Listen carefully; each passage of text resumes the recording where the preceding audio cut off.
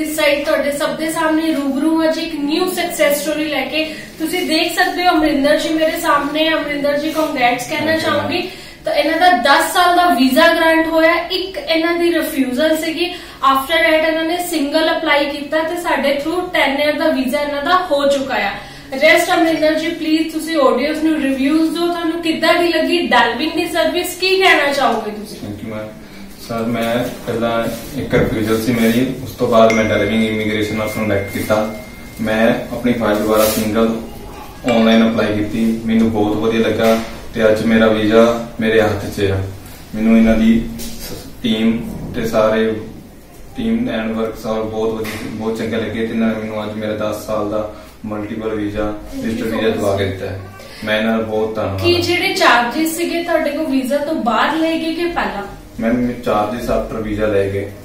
ਉਹ ਉਸੇ comment commitment ਤੇ ਰਿਹਾ ਜੋ ਇਹਨਾਂ ਆਖਿਆ ਸੀ thank you so much sir ਇੰਨੇ ਅੱਛੇ ਰਿਵਿਊਜ਼ ਦੇਣ ਲਈ। ਰੈਕਸ ਰੈਸਟ ਮੈਂ ਆਡੀਅנס ਨੂੰ ਇੱਕ ਮੈਸੇਜ ਦੇਣਾ ਚਾਹੂੰਗੀ। ਕਦੀ ਵੀ ਡਿਸਅਪਾਇੰਟ ਨਾ ਹੋ ਤੁਹਾਡੀ ਵਨ ਟਾਈਮ ਜਾਂ ਸੈਕਿੰਡ ਟਾਈਮ ਜਾਂ ਥਰਡ ਟਾਈਮ ਰਿਫਿਊਜ਼ਲ ਹੈ ਕਿਸੇ ਵੀ ਕੰਟਰੀ ਤੋਂ। ਹਮੇਸ਼ਾ ਨਵਾਂ ਦਿਨ ਨਵੀਂ ਰਾਹ ਹੁੰਦੀ ਹੈ। ਫॉर ਫਰਦਰ ਇਨਫੋਰਮੇਸ਼ਨ ਤੁਸੀਂ ਕੰਟੈਕਟ ਕਰੋ ਡੈਲਵਿੰਗ ਓਵਰਸੀਜ਼ ਦੀ ਕੋਈ ਵੀ branch thank you so much